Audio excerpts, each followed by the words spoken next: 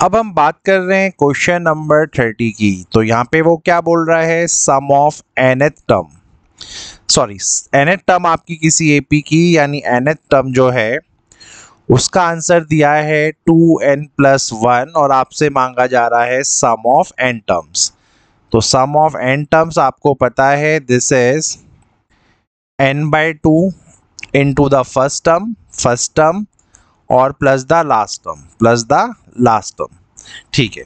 तो इसके अकॉर्डिंगली अब आंसर क्या होना चाहिए? अगर मुझे ए का वैल्यू पता चल जाए तो यहाँ पे मैं धीरे धीरे इस ए पी को देखता हूँ कि यहाँ पे एग्जैक्टली exactly होने क्या जा रहा है।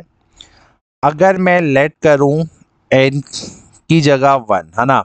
अगर मैं एन की जगह वन लेट करूँ तो ये हो जाएगी बिल्कुल फ़र्स्ट टर्म और इसका आंसर आएगा two into one plus one यानी थ्री वॉट इट तो थ्री आंसर आएगा यहाँ पे। पहला टर्म डालते ही। तो ए की वैल्यू कहीं ना कहीं अगर आप देखो ढंग से तो वो थ्री है। तो यहाँ एन बाई टू है। फ़र्स्ट टर्म का आंसर मेरे पास आया है यहाँ पे थ्री एन एथ टर्म जो कि लास्ट टर्म थी, उसका आंसर आया है मेरे पास टू एन प्लस वन अब मैं इसमें डिफरेंस इसलिए नहीं निकाल रहा हूँ क्योंकि सारे जो उस ऑप्शंस मुझे यहाँ दिख रहे हैं वो एन की फॉर्म में है।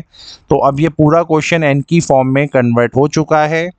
तो this is n into अगर मैं इसको प्लस करूँ तो this is two n plus four और डिवाइडेड बाई टू ठीक है?